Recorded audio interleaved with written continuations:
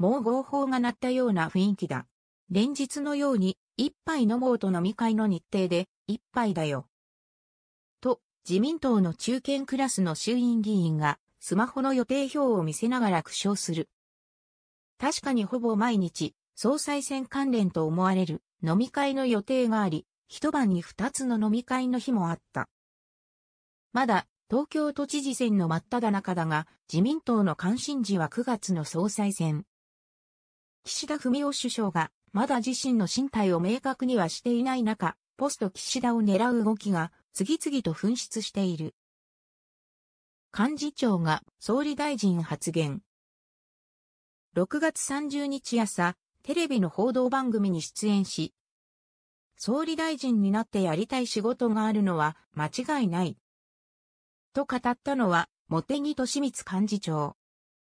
茂木派のトップでもあった茂木氏は、麻生太郎副総裁ともに、岸田政権を支えてきた。だが、早くも、岸田氏の次への出馬表明にも思える、総理大臣発言。茂木派の国会議員がこう話す。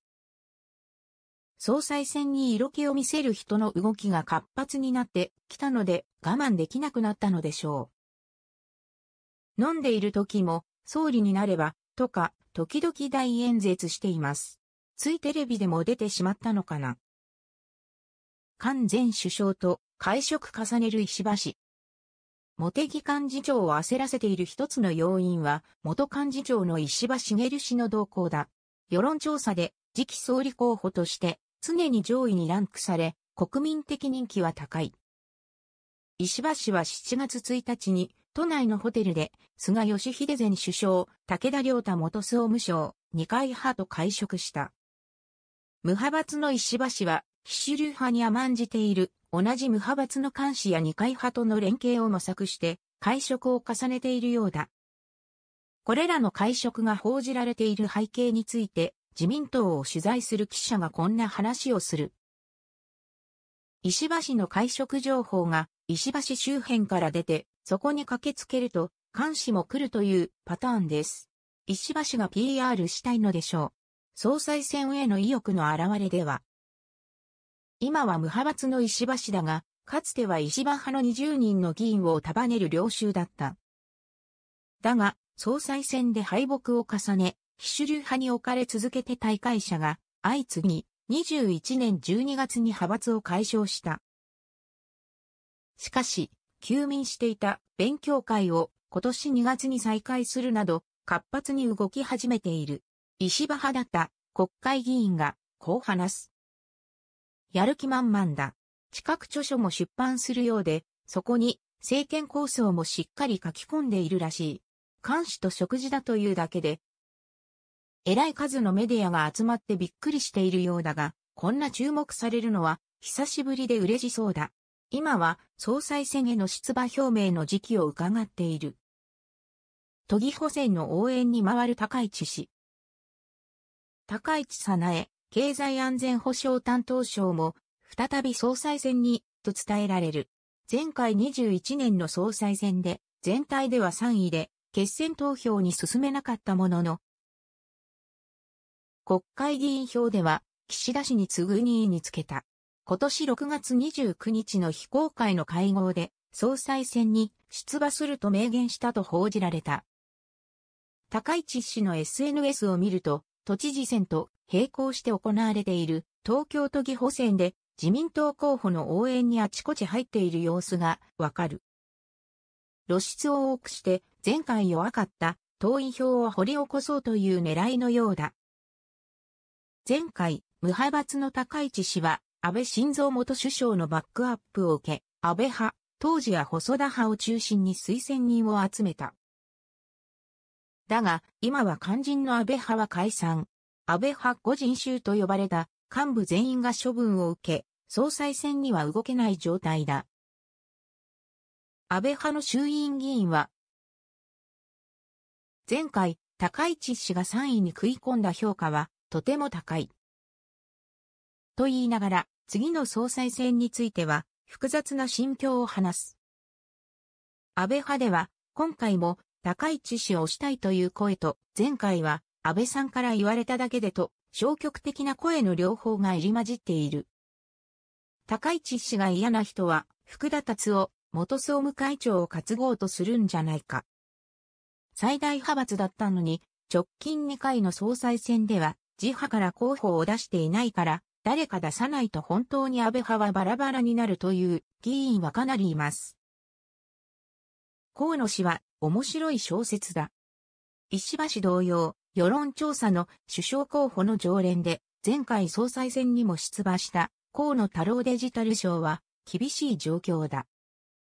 6月26日に派閥の領袖である麻生太郎副総裁と会食し、総裁選出馬の意向を伝えたと報じられた。だが、翌日、河野氏はその報道について。どの河野さん面白い小説だと思う？と否定。総裁選出馬の意欲はあるものの、前回総裁選で支持を受けた監視や派閥の支援が受けられる確約がなく、出馬を明言できない状況のようだ。このほか、二階派の若手、小林隆の前経済安全保障担当省を推す声もある。小林氏は7月1日発売の月刊誌、正論に掲載された対談で、首相を目指すのかと問われ、目指します。いずれはその役を担えるよう、精進していきたい。と意欲を見せていた。首相を批判展開する監視。総裁候補たちがうごめく中、がぜ注目されているのが、菅前首相だ。石破氏や菅政権時代の官房長官で、やはり総裁候補と目される、加藤勝信氏、茂木原と会食を重ねる。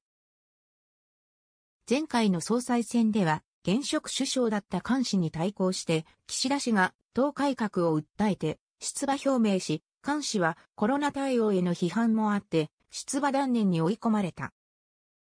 そこから非主流派に追いやられてきた恨みもあるのか、今やポスト、岸田のキングメーカーとしての動きが活発だ。菅氏は6月23日に配信された文芸春秋のオンライン番組でインタビューに応じ、総理自身が派閥の問題を抱えているのに責任を取っていなかった。その責任に触れずに今日まで来ている。などと岸田首相批判を展開。総裁選については、どなたを応援するかは全く決めていません。と言いながら、石破さんは期待できる経験豊富なリーダー。加藤さんは穴のない働きぶりでどんな仕事も安心して任せられる。などとポスト、岸田の候補たちを褒め上げた。冒頭の自民党中堅クラスの衆院議員はこう、話す。菅氏は安倍政権で長く官房長官を務めていた頃には、ライバルとなりかねない石破氏と距離を置いていた。今、石破氏や加藤氏と会食をするなどの動きは、岸田首相を引きずり下ろして、キングメーカーの座を虎視眈々と狙っているのでしょう。以下はネットユーザーの反応をまとめたものです。国民の願いは自公政権が下野し、政権交代が実現することに尽きる。自民党が総理の顔を変えたとして、岸田政権時の悪性であるインボイスや育児支援金の健康保険からの転引きなど、他にもあるステルス増税を凍結し、国民生活を第一にした政策をやることなど、期待薄だと思う。知らぬ顔で押し通すことは予測できる。世界情勢が大きく変わった今、もはや自民党の役割は終わった。日本は保守政権であるべきだということは変わりはないが、アメリカ一辺倒から脱皮すべきだと思うし、日本国ファースト、日本国民ファーストの政権を期待している。何も日本だけが世界でいい思いをするのは不可能だが、日本はかつての経済大国ではなくなった。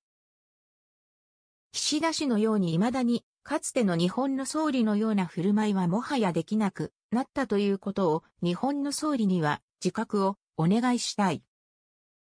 それよりも円安を是正し、国内経済を第一に考える政権に期待したい。